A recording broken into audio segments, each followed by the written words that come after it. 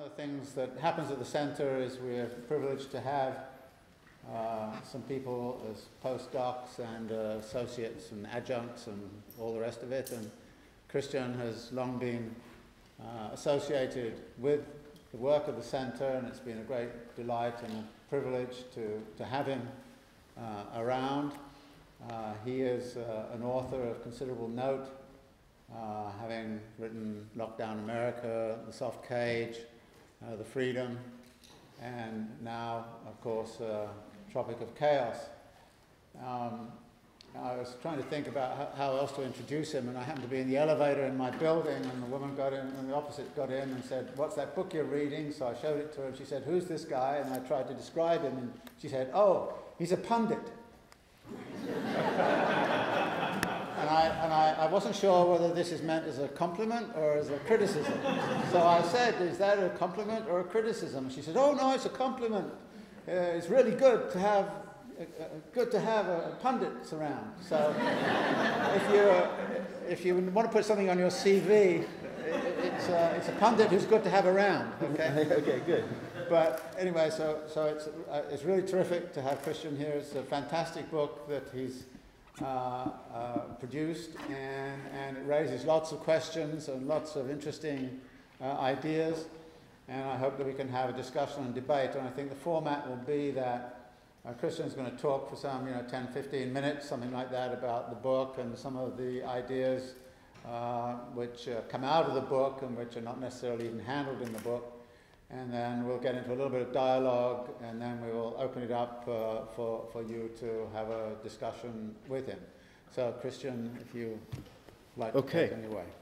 So thank you all for coming out, and sorry about the um, confusion. Uh, and also, you, uh, Vijay Prashad was unable to make it because Metro North has been closed due to the storm, and he lives in Northampton. So we're we're missing him, his presence. Um, and thanks to David and the center, I was actually um, I came to the center as a postdoc, and it was the fulfillment of my original hopes as a, an academic in my education to finally study with David Harvey. So this book and all the other work really owes a lot to David's work. Um, the, the idea of the book, the thesis of the book, is that climate change doesn't just look like bad weather. It also looks like religious warfare, banditry, counterinsurgency, border militarization, and that the connection between the causal connection between climate change and various forms of violence may be attenuated, but it is very real and can be fleshed out. Um, so, it, a couple days ago, there was a report released from Colombia that showed a correlation between El Nino's El Nino events and violence, and, and the report didn't really explain what that sort of um, the paper sort of uh, you know guessed at what some of the causes could be. But of course, what the, the, connections between violence and climate change run through all of the human institutions that are essentially what you would call imperialism, or more specifically, capitalism operating on a global scale. More specifically, what's happening now throughout the global south is a, what I call the catastrophic convergence, which is a convergence of two pre existing crises with the onset of anthropogenic climate change. And those pre existing crises are the legacy of Cold War militarism, which has seeded much of the global south with cheap weaponry and bands of armed men trained in asymmetrical warfare, be it as guerrillas or as mercenaries or as counterinsurgents. So they're trained in torture, smuggling, interrogation, assassination, small unit combat. And counterinsurgency, which was a crucial part of the Cold War's hot proxy wars, is particularly damaging to societies because it takes as its object the civilian society and not uh, as in conventional warfare an opposing army. So the, the methods of counter, counterinsurgency necessarily attack the social solidarity that I was mentioning in our warm up there. And so societies uh, are not only littered with cheap weaponry and men trained in the arts of assassination and killing and smuggling, but also very often traumatized in a specific way that, that, that primes them for further violence. People are uprooted from their homelands, they forget or are forced to forget their original languages, they move to cities, they are forced to turn against their uh, countrymen and, and, even fellow townsmen. An example of this, of course, probably the quintessential example of this is Guatemala, where, you know, as is always the case in counterinsurgency, one of the army's methods, along with burning villages and relocating people into strategic hamlets where they could be observed, was the establishment of civil patrols or, uh, you know, uh, civilian auxiliaries, which had the effect of forcing people to, you know, in some cases, kill and torture and interrogate their own community members. So the, the effects of that, beyond just the human rights abuses, are intense and they leave societies very battered. So you see in Central America, for example, murder rates in some countries that are as high as were the death tolls during the civil wars of the 1980s. But there's no longer any cause, there aren't two sides in the conflict. It's just the, uh, the reverberations of Cold War militarism. The other pre existing crisis into which climate change now comes is the crisis of neoliberalism. Neoliberalism has also ripped these societies of the global south to pieces in many cases.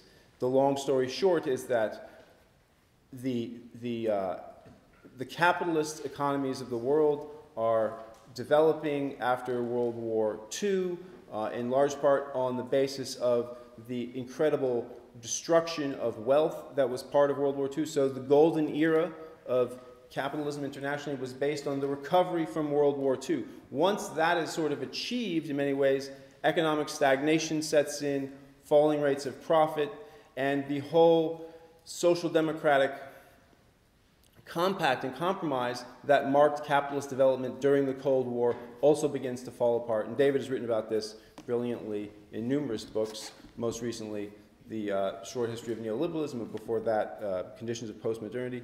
But so the crisis of the Keynesian model, if you will, leads to an embrace globally of radical free market economics, the ideas that Hayek lays out in the 1930s and, and were pushing in from the right wing fringe become, by the late 70s, early 80s, the policy uh, in, the, in, in the West. And the, the knock on effect of that in the global South is that as Volcker, the chairman of the Federal Reserve in the US, jacks interest rates in the early, in the late 70s, early 80s, with the intention of plunging the US economy into a cold bath recession to help discipline labor unions here, all of the outstanding loans in the global south, most, most of which were borrowed on variable interest rates, suddenly soar just as the world economy plunges into recession.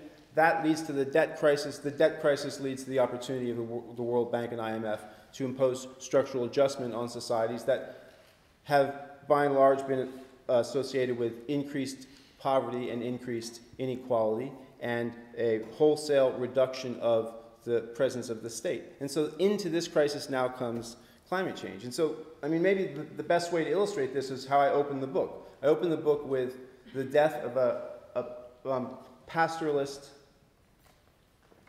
a Turkana pastoralist in northwest Kenya named Ekuru Loroman, who's been killed the day before, and he's lying there dead in the desert. And he asked, Why has this guy been killed? At one level, he's been killed in a cattle raid. Uh, neighboring tribe, the Pokots, came to steal his cattle, and he was killed along with six other people. But, um, you know, the raid was driven by the fact that there's the worst drought in 60 years in the Horn of Africa, which is linked to climate change. It fits the pattern that climate scientists have explained will unfold. But so why, why is the, the, this, the, the response, the adaptation on the ground to go and steal your neighbor's cattle with an AK-47?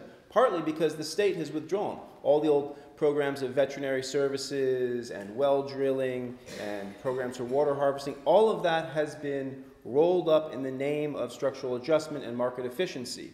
So there aren't enough services for people, so they cluster around what few water holes there are. There's no browse left for the animals, it's, it's drying up, so people are trying to replace their herds by stealing their neighbors. And why is this traditional activity of cattle raiding becoming so violent? Some of you, no doubt, read the news about this cattle raid right across the border from Kenya in Sudan, in which 600 people were killed last week.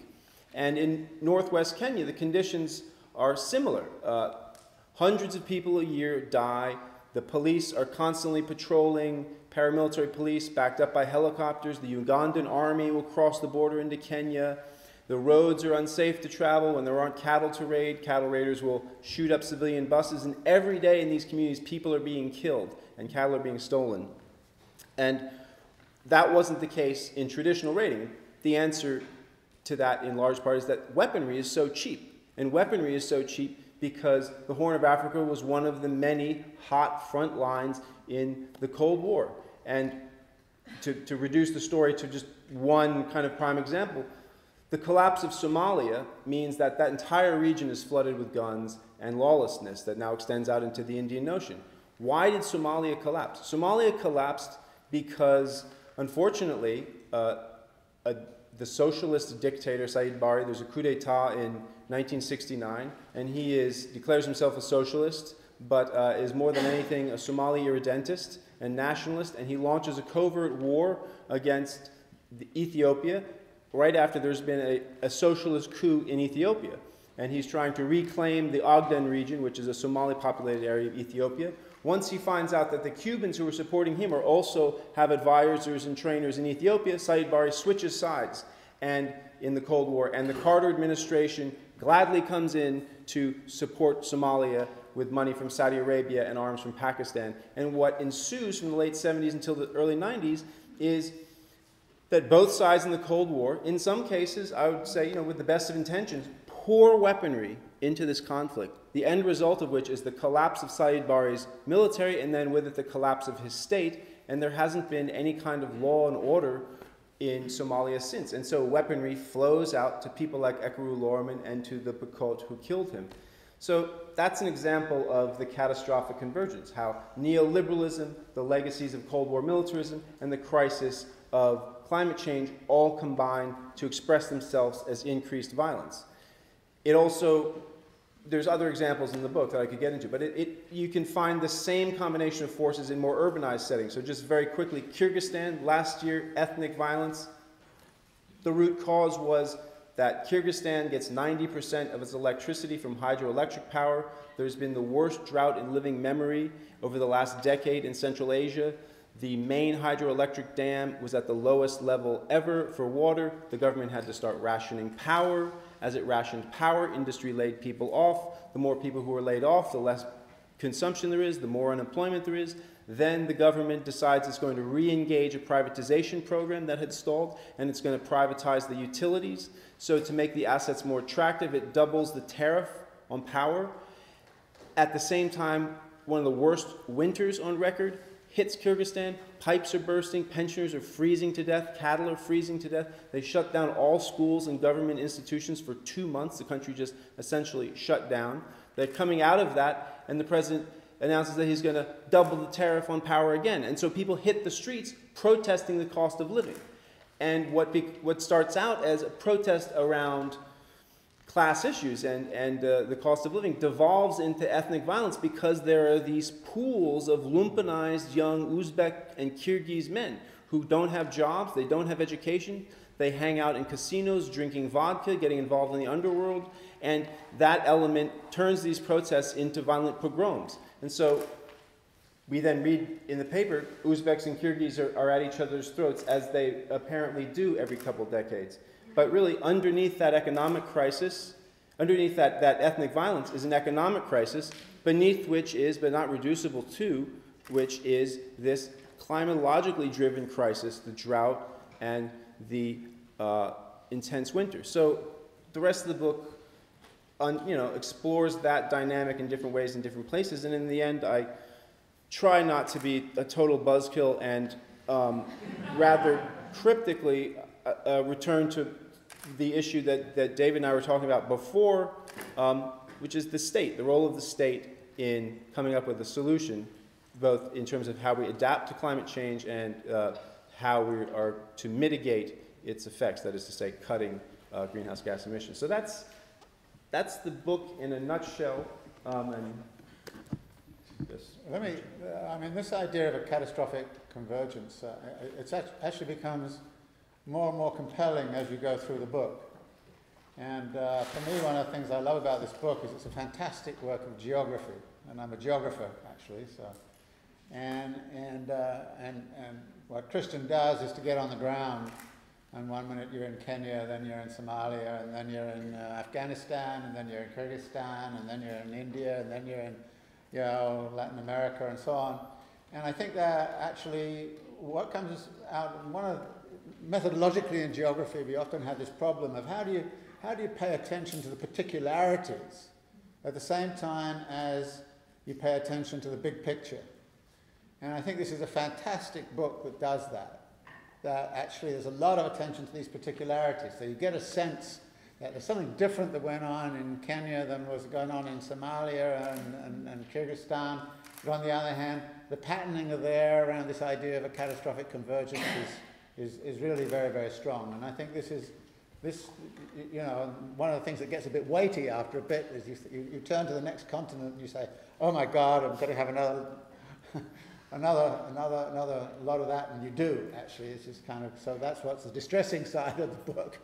Um, but there are some, some actually questions I wanted to, to, to, to sort of get to. You start off the book uh, towards the beginning with an account of how the Pentagon has got hold of this climate change stuff.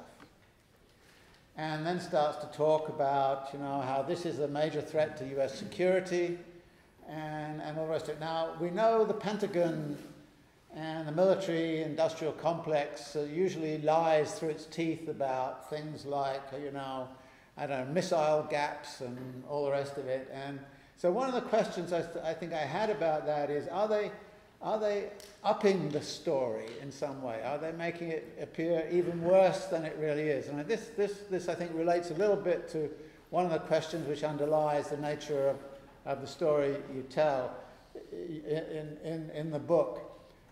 To what degree are you upping the story a little bit in the sense of going to all of the negative kinds of things without looking a little bit more at some of the, the, the, the positive sides of it? I mean, this struck me very much on the Latin American stuff. I mean, you do talk about the MST, you do talk in Bolivia about what went on around the water wars, and so you start to see, well, okay, there was something really positive uh, going on here as well as the, the real downer stuff. So I wonder, I wonder first if you could talk a little bit more about how you see the military apparatus using uh, this as, as a reason to actually sort of, I don't know, get more resources and, and, and actually redefine its mission around more dirty wars, which, which is what it seems to be doing, and of course more technologies and, and, and, and uh, you know, and then all of the, the privatized companies that are being part of that apparatus.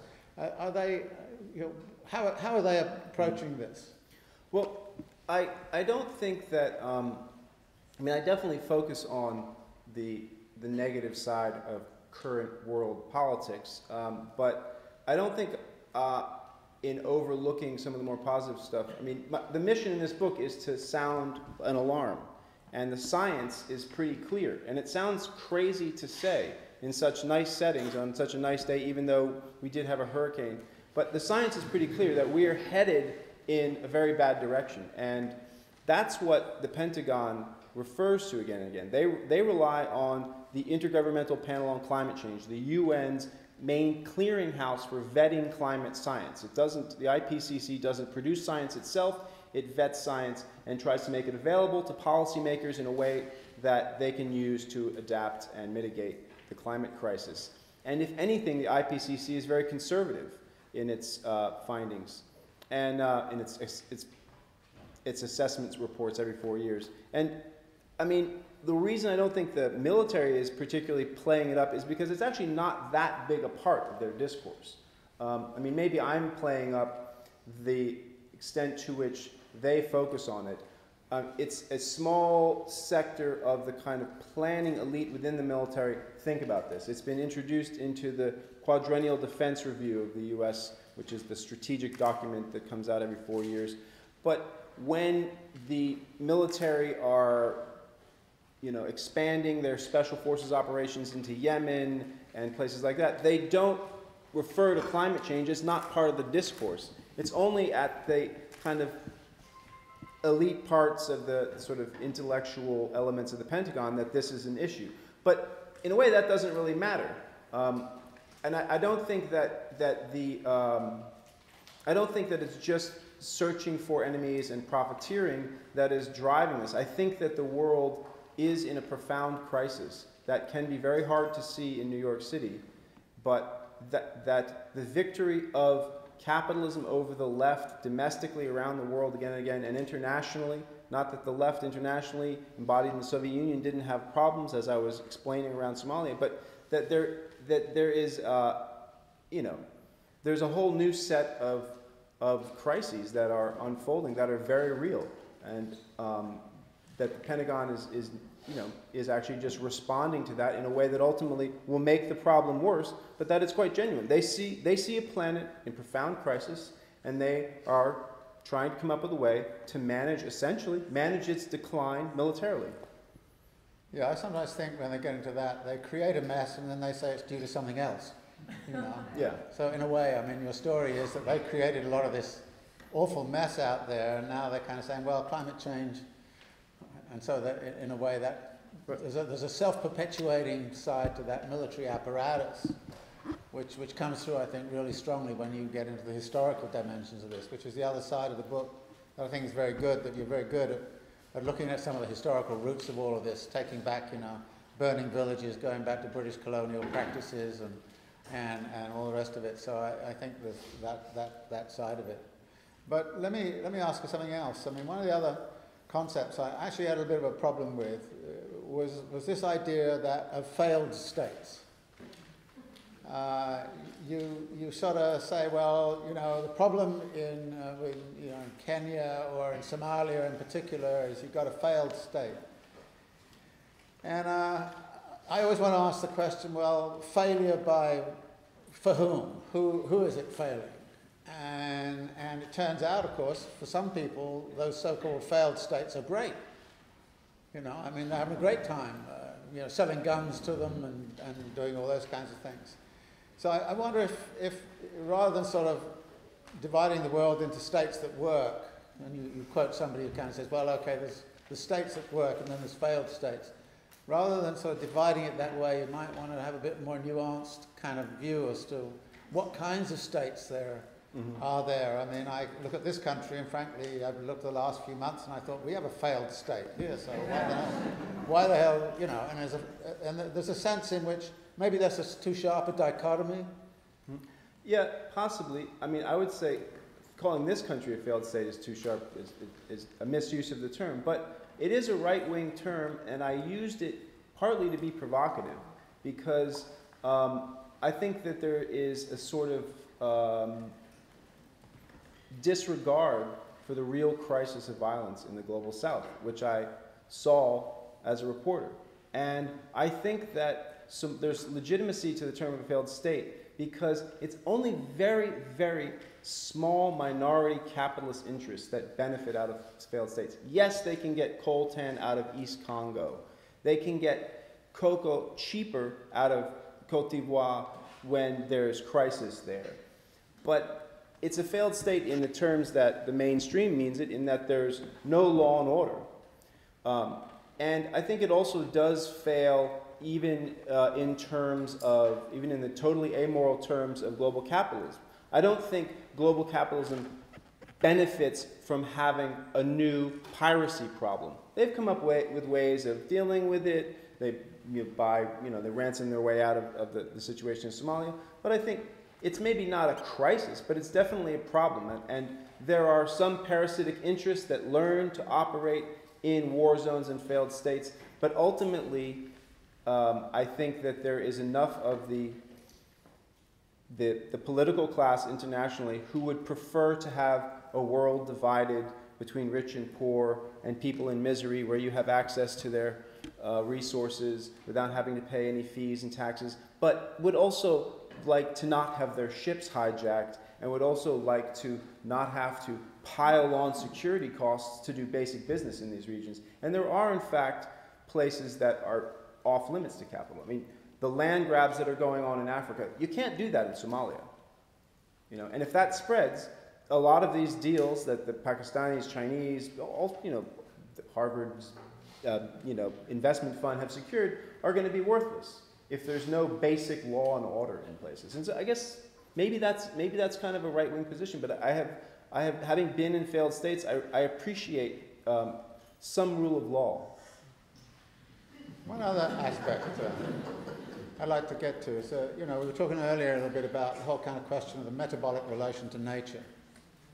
And of course, climate is just one aspect of that. I mean, we have land degradation, we have, you know, so, you know, when you're looking at the environmental issue, would you want to make it much broader than just climate change, or is that just one element of a whole package? Uh, how, do you, how do you see that? Um, and then maybe after, then I'll ask you the question. No, no. Answer. No, no, no, because I, I, the plan was I was going to ask him a few questions as well. So, the, yeah, I end trying to come up with some, um, something hopeful. Um, I end with a discussion of, you know, Marx and Engels' idea of the metabolic rift, that capitalism is incompatible with nature, that nature has limits and capitalism potentially can grow forever.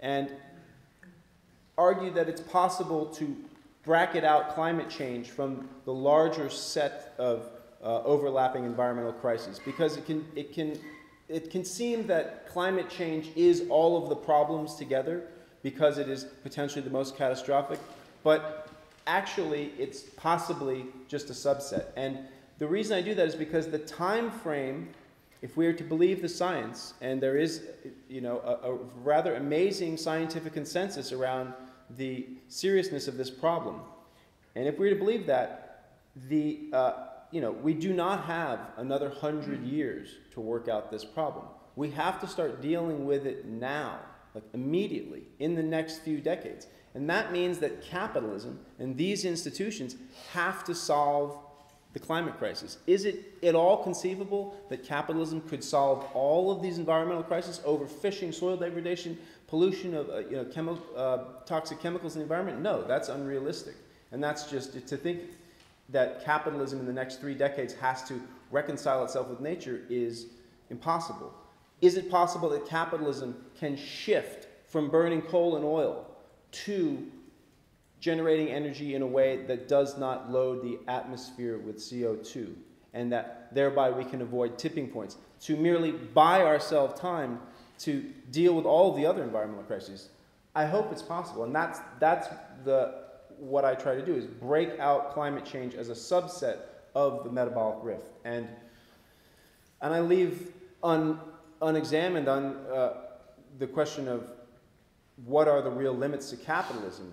Um, I address only the climatological problem. And, you know, as I was writing the book, I was wondering what would David think about that? I mean, what really are, when, when you're not, you know, when one is not just making an argument to, to, to make a point about how powerful Marxism is in analyzing the situation, but when we're thinking politically, here and now, realistically, uh, about what the possibilities are, what do we think about? How do we think about the limits of capital, uh, I mean, the limits of nature, and the potentially uh, apocalyptic scale of, of, capitalism? Well, uh, you know, capitalism uh, has a, a tendency uh, this is again Marx talking in terms of tendencies to degrade the two major sources of all wealth, i.e., the laborer and the soil. Uh, but it's competitive capitalism that does that. And so, one of the questions which has arisen historically is you know, are there ways to modify or underpin, if you like, uh, put, a, put a base under capitalist competition so that competition does not drive you into a sort of a après moi le déluge kind of politics in which uh, you just simply go for it and go for it and go for it.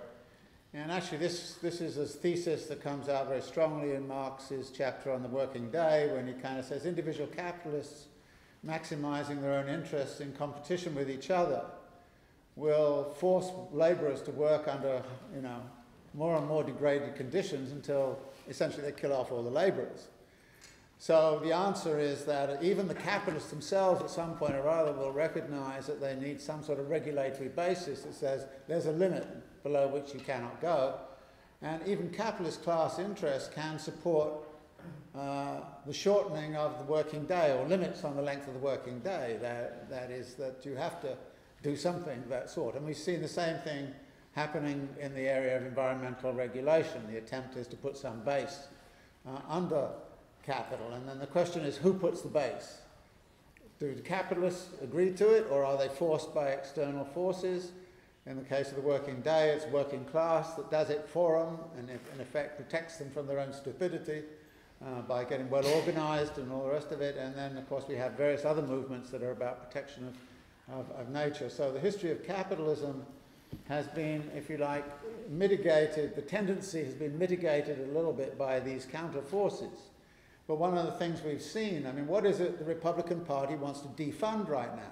They want to get rid of the EPA, right? They want to get rid of all environmental regulation. Uh, they want to get rid of all of that, you know. And, and this is the sort of crazy Koch brothers and, and that, and they, they're, they're, they're into the après-moi le déluge kind of uh, politics. And the interesting question is, and I, I wrote a little piece about this recently where I kind of asked the question, you know, you know, Marx always thought a rebellious class, uh, working class would destroy capitalism, but maybe the Koch brothers and the Republicans would do a better job. Precisely because, you know, with, with climate change and all the rest of it, they'll, you know. So I, I, so I think there is, a, is an interesting political question, which then gets back to that other issue that, that lurks here, is what is the role of the state? And, and in this instance, it would have to be also a state system, a global state system when it comes to, to climate change.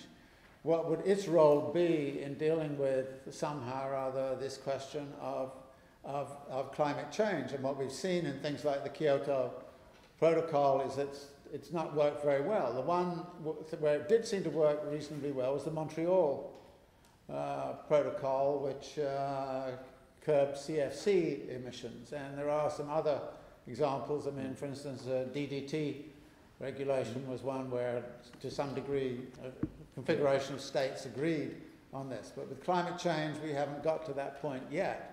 And there's an interesting kind of question, and which actually takes me back uh, to the question of the military. If the military are really so convinced about the problem of climate change, why don't they go off and tell Perry? Uh, to get off saying it doesn't exist, you know, and because that, and say, look, we're going to get all our money out of dealing with this, so come on, get off that bandwagon.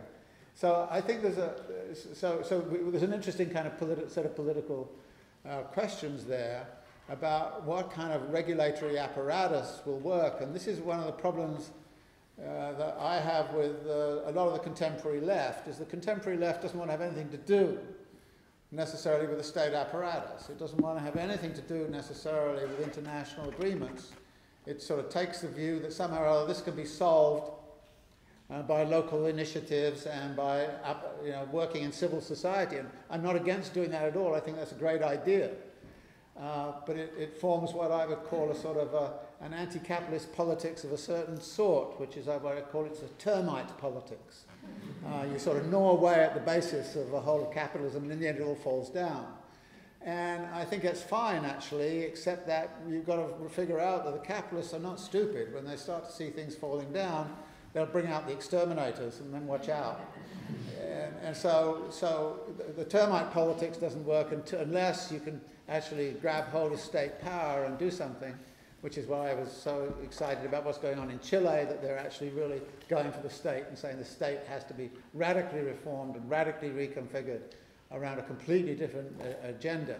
And I think part of the problem right now around the world of, of, you know, is that there is not enough pressure being put on individual states to force the kinds of agreements. I mean, Bolivia has really tried. Mm-hmm. They really tried, and, and I give them great, tremendous credit for that. But uh, nobody else really wants to, to, to, to, go down that path. And when you look at somewhere like China, you, you kind of you, you, you kind of say you're not really sure how it's going to work in a place like that. So I think the question of, of, of, of, of the regulation of our relation to nature uh, cannot be decided by individual action. It has to be decided by a whole set of different scalar actions, activism at the base amongst individuals, activism at community level, local levels, uh, regional levels.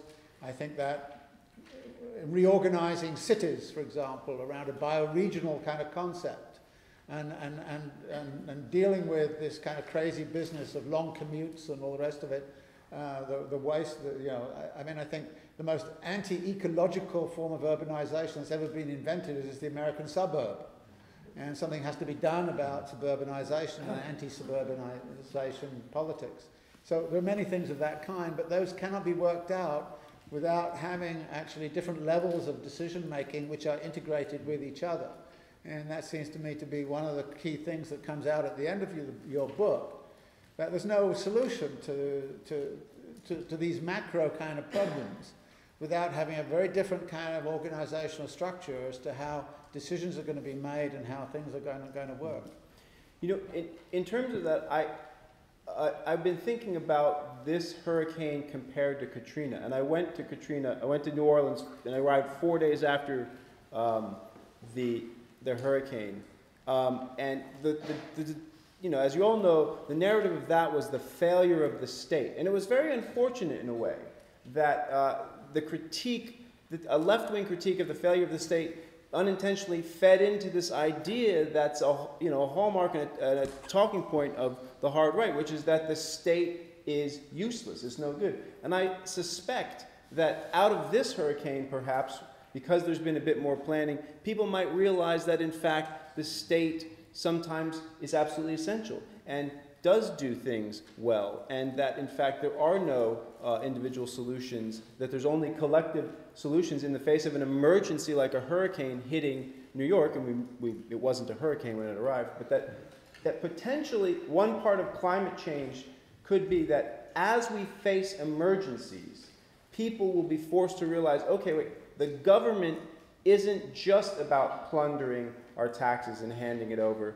to Halliburton. There are still elements of it that are about public service that, uh, that operate you know, on the basis of use values rather than exchange values, and that we need to endorse and support those. And I think hopefully that will become more apparent as people realize that they, that they have to rely on it. But we'll see. Now, another qu- question I had for you about uh, the one in Marxism, it, the working class is the class that is most theorized, and the ruling class becomes the capitalists, but doesn't really become a political entity. And it seems to me that the ruling class, in many ways, and this is something I, I owe a lot of what I'm saying here to Doug Henwood, who I've discussed this with, and these are very much his ideas and, and part of a project he's working on about the ruling class. But it seems that the ruling class, in many ways, becomes politicized the same way the working class does. That it becomes a class for itself when it is threatened. And when that threat is removed, it's no longer coherent uh, it's no longer thinking coherently as a class, it's then thinking as it is now, just as interest groups, sectional uh, interests. I mean, we don't, have, we don't have a healthcare policy for capitalism, we have a healthcare policy for the healthcare industry and the insurance industry. And it doesn't really make sense for the automobile industry. It seems to me that the, you know, if you read history from the Kennedy era, I mean, they would talk explicitly about the system. What does it mean that we lost at the Bay of Pigs? What does it mean that the Russians got a dog into space for the system? And what do we do for the system?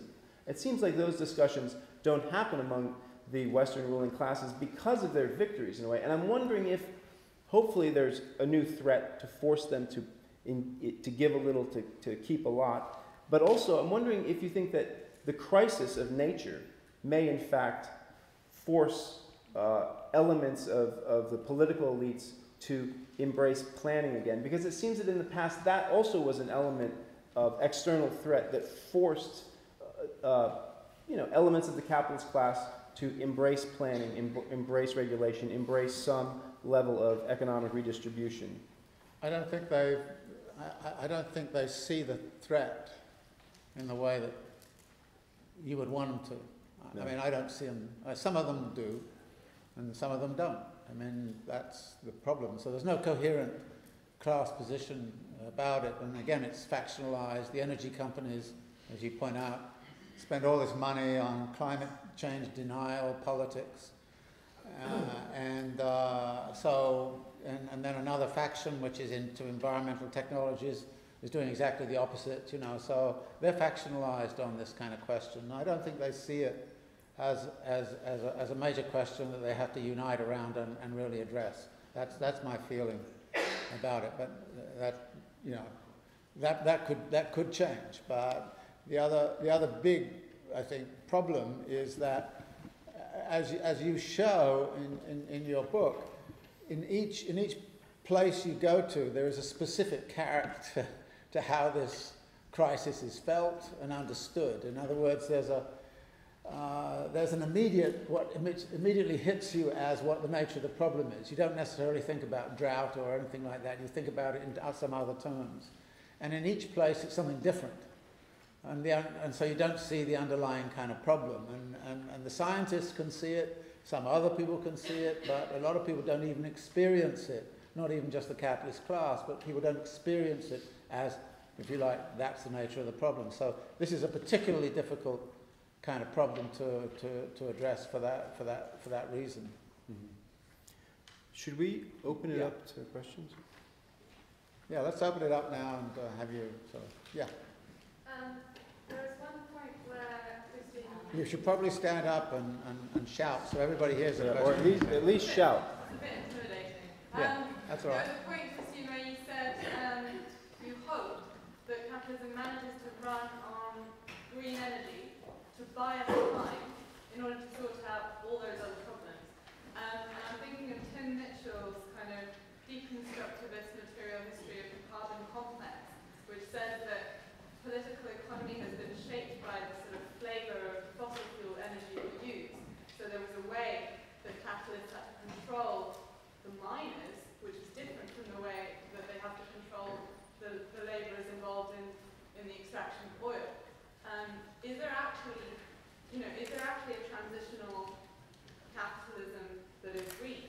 I mean, is, is there a sort of, you know, Uh, wind or solar flavoured political economy of, of carbon democracy? Well, there, there isn't one, no. Um, but there's potentially, um, an, you know, a shift in the energy industry. I mean, the, it's, the easy case to make is that the jig is up and that we have flown over the edge, the tipping points are coming, and, um, you know, this civilization is going to collapse. That by the, by the time the effects of climate change kick in, the causes will have become so built up that it will be impossible to address. Um, the, the obvious tipping point is the, the melting of the permafrost and the release of methane. In the Arctic, methane is a greenhouse gas 20 times more powerful than CO2. Once the primary cause of greenhouse gas buildup in the environment is the natural release of methane, there's very little civilization can do. So it's easy to make the case that we have crossed the point of no return. Uh, what's more difficult and somewhat uncomfortable for uh, me, at least, uh, as a person of the left, is to try and come up with a realistic seeming uh, scenario for how we avoid that. And it involves, I think, capitalism moving off of fossil fuels towards other forms of energy, wind, solar, and hydroelectric. hydroelectric. It is totally unrealistic to think, I believe, that the entire global economy, which is primarily capitalist, could be transformed in the time necessary. Could the energy sector be meaningfully transformed? Possibly. That's a much different and smaller um, project. So that's, uh, you know, that's what I'm talking about. And there, there is movement in that direction, but there's tremendous pushback from the fossil fuel industry, which has all of this sunk capital, which is threatened with being turned into scrap metal if there's a, a policy shift away from fossil fuels. The other thing that, that happens is uh, this idea of, you know, a class in itself or a business faction in itself versus a business faction for itself. The green energy people are lackadaisical. They're not politicized. They, they, they're not like the fossil fuel industry. They're not born out of armed conflict with workers. They don't defend their interests. They just, you know, hope that their gadgets sell well. Can I just uh, add something to that? I mean, I want to emphasize this notion of time lags. Um, and I think, again, the CFC thing is a very good example. The Montreal Protocol was passed, what, 1982 or 5 or something? 87, I think. 87 the was it? Okay, okay. 1987. Uh, CFCs are only just now beginning to go down. Mhm. So, so when you're looking at the climate change stuff, you're looking at time lags of 30 years, 40 years before you really start to clean out the stuff. So, so you've got to be really, you know, and that, that's why this is such a dangerous situation. If people don't see, you know, that what, what the time horizon of a lot of business decisions right now is, you know, next six months and that's it. Uh, and that's where you get into this après-moi le déluge kind of stuff. Um, and, but you, you've got to have a much longer time horizon. And the big question is, who's going to have that time horizon? And who is going to sit and say to everybody, no, you cannot do that because on that, on this other time horizon, this is what it looks like. And, and that's, that, that's going to be a disaster. So this is, a, this is again one of the, one of the issues. Yeah, it was a, yeah. Okay, uh, so we seem to talk about government as the, I guess, the only way to mitigate all these kinds of issues in being comprehensive and all that. Uh, but I was thinking, or I was wondering if you could talk about the role of culture in helping or hindering policies. Uh, for example, just recently in the New York Times, they were talking about how um, community groups in England were having going through the whole NIMBY effect of not wanting to build wind turbines in their own communities because they're ugly, they're low property value, they hurt animals. Um, and so they're being built more inefficiently because they're further away, and et cetera, et cetera. Um, so I guess, how do you see cultural barriers of community politics uh, Mhm. affecting um, how the state responds to climate chaos? Um, well, there has to be a shift in cultural values in the West to, for, for, for the state to really engage in, in robust planning again. In China, um, you know, uh, political despotism does have its uh, benefits. They don't have those problems, you know. I mean, this is the efficient place to put the windmills, that's where they go. And I suspect that a lot of this NIMBYism is funded uh, covertly by, by the, the you know, fossil fuel industry. But um, in terms of the cultural shift, one thing about in terms of termite politics, the localista stuff, I agree that it's ultimately a lot of what is explicitly suggested by that politics of communities solving their own problems, being self sufficient in the face of the collapse of civilization is totally unrealistic. But it, I think there's a, a, what Robert Merton, the old sociologist, would have called the latent and the manifest function of these movements. There's a group around the country, at least in Putney, Vermont, which is where I'm originally from, which has just been very badly flooded.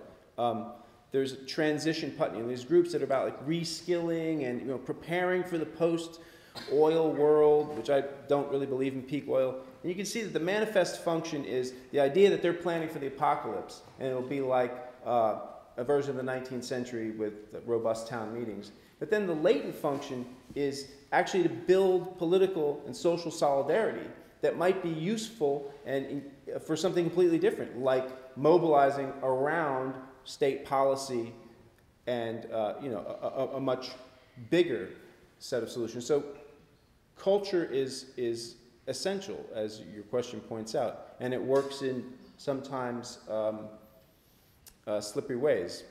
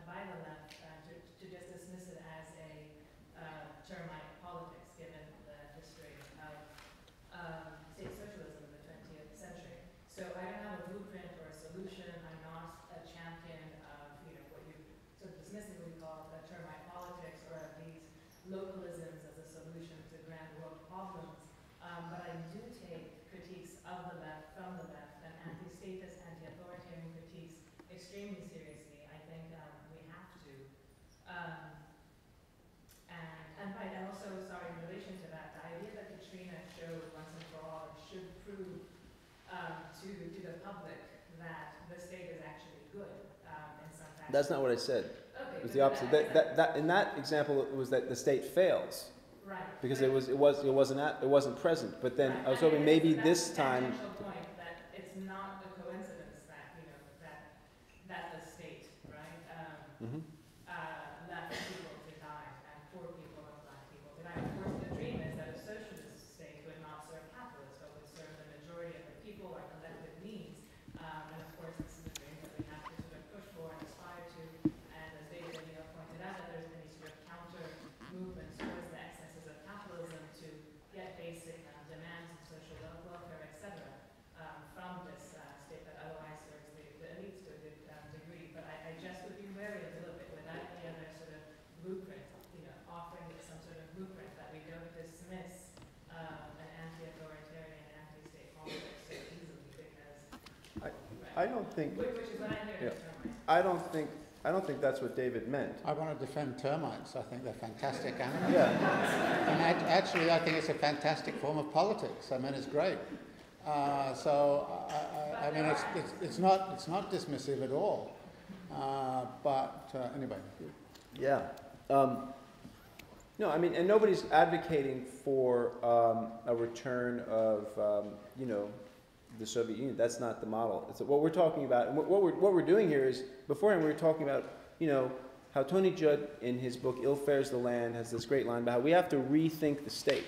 And so that's what we're trying to do. I, it, it's not, uh, I wouldn't worry about uh, you know, a communist takeover and all that kind of, you know, because it's just the time frame doesn't allow. What we're talking about is trying to get the the idea of government planning and regulation of capitalism to have some traction and legitimacy. I mean, I think that's like what is really uh, doable. Uh, and, and the real set of parameters of the discussion of how the left has to think about the state. And I don't think we were uh, dismissing, uh, you know, anti-authoritarian left critiques. I didn't I, I mean, I don't, I don't, I take them seriously, but I also don't want to stop there. I, I also am aware of a kind of intense romanticism of the local, romanticism of the community, an unthinking dismissal of the state. Um, And the opposite as well. That, that, that, that's really my only intervention. Um, and I, I'm not sure that wariness actually exists, not, not of a communist takeover, obviously, I mean, that's just uh, absurd and fantastic. Um, but again, just sort of people's natural, uh, instinctual, um, response or, uh, towards this idea of law and order to mobilize in a, in an ethical way, Mm. frankly. Um, but, but to see that, you know, lacking in, in the discussion of, of the of a socialist state, um, state, mm. um, but that wariness, I just didn't detect, but I think that's. Well, look, if you two, you know, okay. Uh, the last couple of weeks I've been reading sort of a lot of Murray Bookchin. And Murray Bookchin is in favour of municipal libertarianism. Now, a municipal organisation is, okay, it's not a state, is it? But on the other hand, when you start to say what are the rules and regulations that are, exist within this municipal libertarianism, then he kind of says, well, you have to, you understand perfectly well, and this is one of the big critiques which is made, is that if, if you do not have means by which there are resources redis- redistribu- redistributed from one municipal libertarian entity to another, then that can be a recipe for enormous inequalities in the world. And the only way you can deal with that, he says, is where you start to have regional assemblies, which are, and then, you know, and pretty soon you're into a sort of, dare I say it, hierarchical forms, but no, you're not supposed to talk about hierarchies anymore, you know, everything has to be horizontal, you know, and I like to be horizontal most of my life, but I actually like to stand up occasionally. So, so, so I, I kind of think, so I think there's a, there's a way in which the left is often talking about these things which is, which is not helpful. And I agree with you entirely that the critique is there, and it's a very solid critique. But when you look at something like a Murray Bookchin sort of structure, I'm sorry to say, it looks to me like a territorial set of territorial forms which look like a state, feel like a state, and walk like a state, except they do so with a different kind of standard of how the, how the base relates to the various institutions which are, which are set in motion there. And then if you look at something like saying, I mentioned the CFC, the Montreal Protocol, how is that negotiated and how is it set up? Well, this is a very progressive thing to have happened. And if you wanted it to happen, the only way it could happen was actually by having state apparatuses there that could reach those, those agreements. And, and, and, and particularly with the climate change thing, there's no way.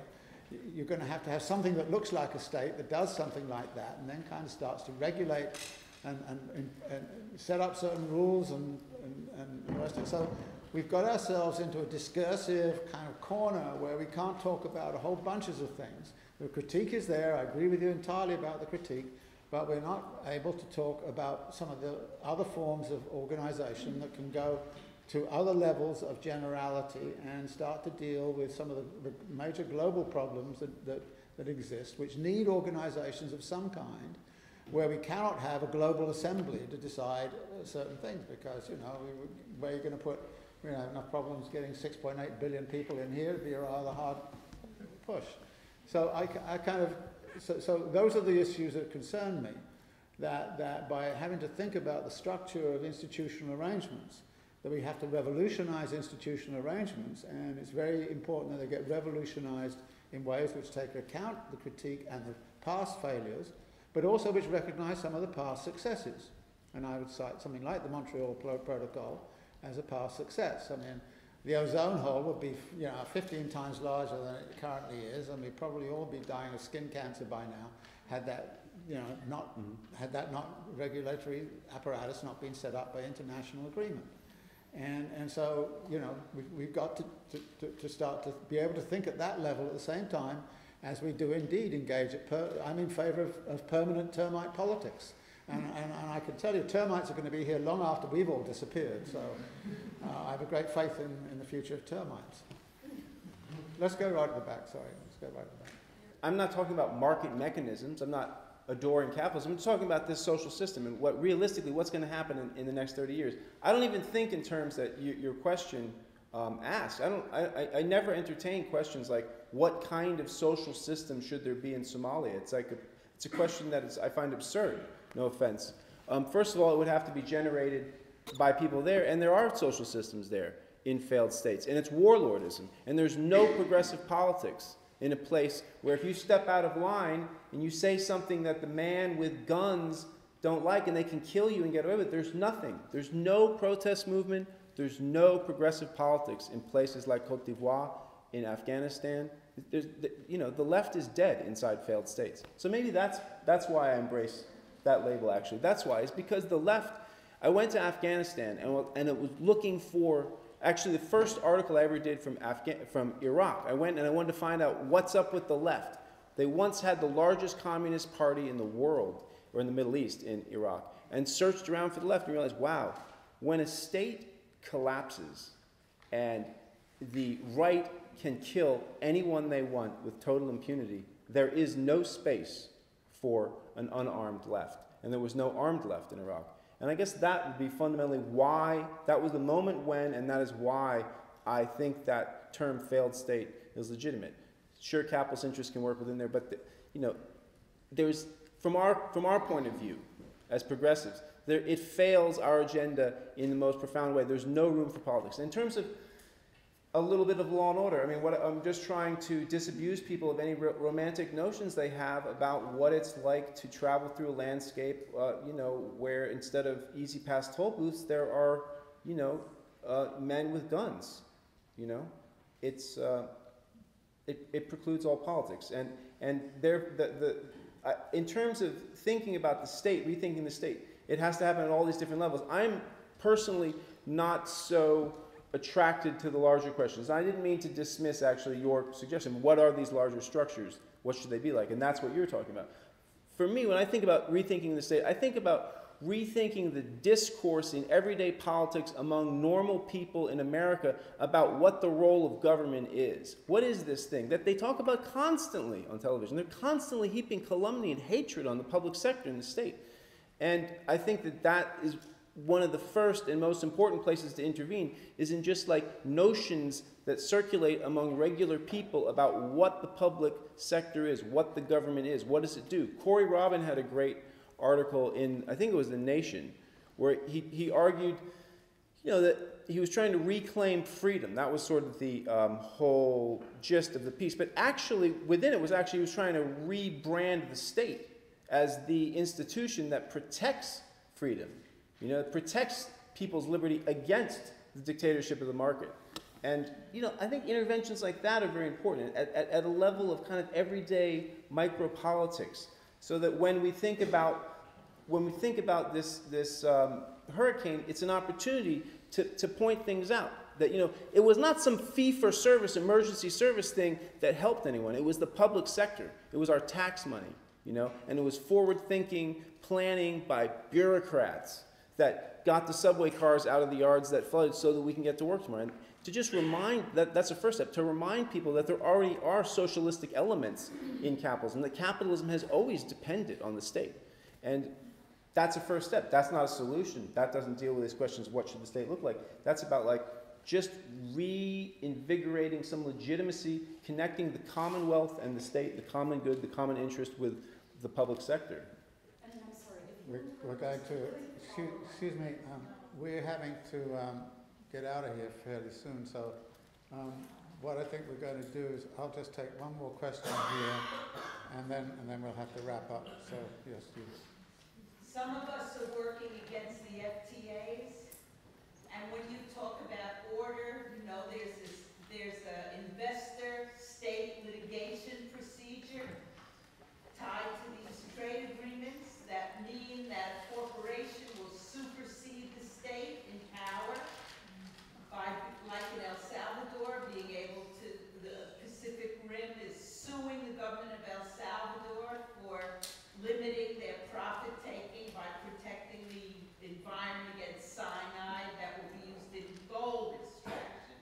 Okay, so if corporations are people and corporations can sue a state, might we, how do we counterpose the power of the state when the corporation seems to be the defining power to maintain order? Well, I think if corporations are people, we should be able to put them in jail.